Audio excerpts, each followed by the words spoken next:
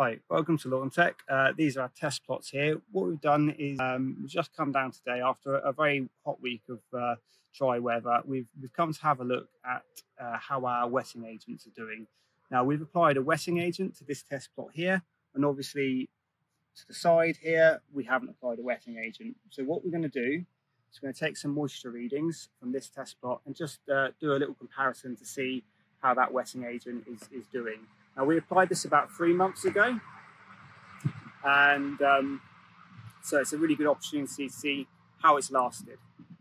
So what I'm going to do is we'll choose a random spot on here, and I'm going to take a moisture reading. Now you can see there that that is at 23.7% moisture, which is a really good reading. Ideally, we want it to be between about 30 and 15%. Once you start getting to 15% and below, then you're going to start to see drought stress, you're going to start to see some browning, and eventually, if we don't get rain, you will see dormancy and uh, the lawn will completely go brown. We'll just take another look over here.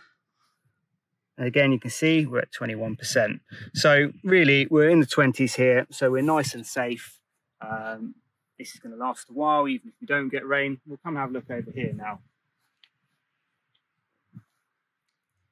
So if we take a moisture reading here, this is the plot that hasn't had the uh, the wetting agent, and you can see already at 14%, okay, it's still looking nice and green.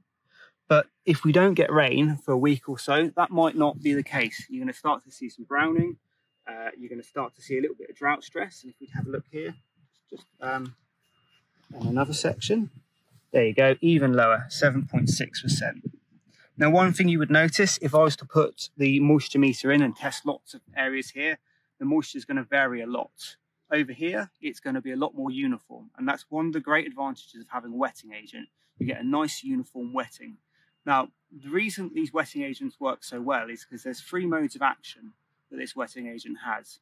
The first is that it helps to spread the water out nice and evenly over the surface so it can penetrate well rather than beading.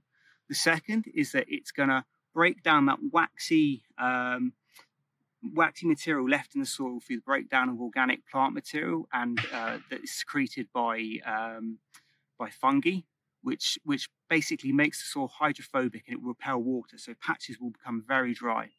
Uh, the last mode of action in the wetting agents we use is that it helps to slow the movement of moisture through the soil profile and keep it in reach those roots for longer.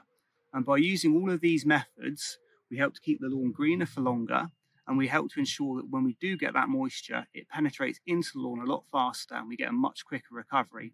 And that's how the wetting agents that we're applying to lawns really help to just improve that drought tolerance.